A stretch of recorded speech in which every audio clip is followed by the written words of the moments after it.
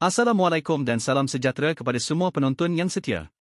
Kami ingin mengucapkan terima kasih kepada setiap individu yang telah memberikan sokongan dengan menekan tombol subscribe dan loceng untuk mendapatkan kemas kini terkini daripada kami. Laporan berita, pemberian bantuan khas Mai Sara telah mula dikreditkan.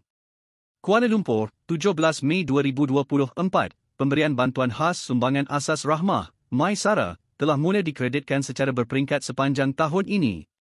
Untuk makluman umum, program khas My Sara ini merupakan lanjutan kepada bantuan tunai sumbangan tunai rahmah, STR. Kerajaan Perpaduan telah bersetuju untuk meneruskan pelaksanaan pemberian insentif sumbangan asas rahmah bagi tahun 2024. Pemberian bantuan khas ini hanya diberikan kepada penerima sedia ada STR yang layak tanpa perlu mengemukakan permohonan. Bagi sesi tahun 2024, sekitar 700 ribu penerima sumbangan tunai rahmah mendapatkan manfaat yang disediakan ini. Lebih menarik adalah pada tahun ini bantuan ini juga disalurkan kepada kategori penerima bukan berstatus miskin dan miskin tegar. Kadar bayaran bantuan sumbangan asas rahmah adalah berjumlah dari 150 RM sehingga 1200 RM setahun. Jumlah bayaran ditentukan mengikut kategori kelayakan yang telah ditetapkan dan pembayaran dilakukan secara kredit terus ke dalam MyCard. Kadar bayaran bantuan khas Mai Sara 2024 Pada tahun lalu, hanya diberikan bantuan sara pada kadar 600 RM dan melibatkan kategori miskin tegar sahaja. Atas keprihatinan kerajaan, pada tahun ini akan melibatkan empat kategori penerima pada kadar seperti berikut. Penerima STR kategori isi rumah dan warga emas, miskin, miskin tegar 1200 RM. Penerima STR kategori bujang, miskin, miskin tegar 600 RM.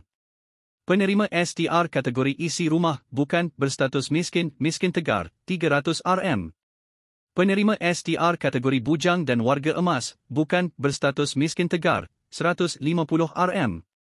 Tarikh pemberian bantuan MySara. Untuk makluman, pengagihan bantuan SARA hampir serupa dengan bantuan tunai STR di mana dikreditkan secara berperingkat mengikut fasa.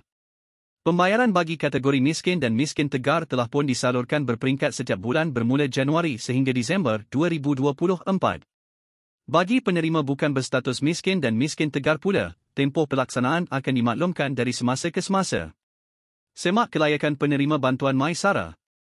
Seperti yang telah dimaklumkan oleh Kementerian Keuangan, pemberian bantuan khas SARA ini diberikan kepada penerima STR yang berkelayakan tanpa perlu memohon. Semakan sama ada layak atau tidak boleh dilakukan secara dalam talian. Untuk semakan, sila layari laman portal rasmi bantuan MySara 2024.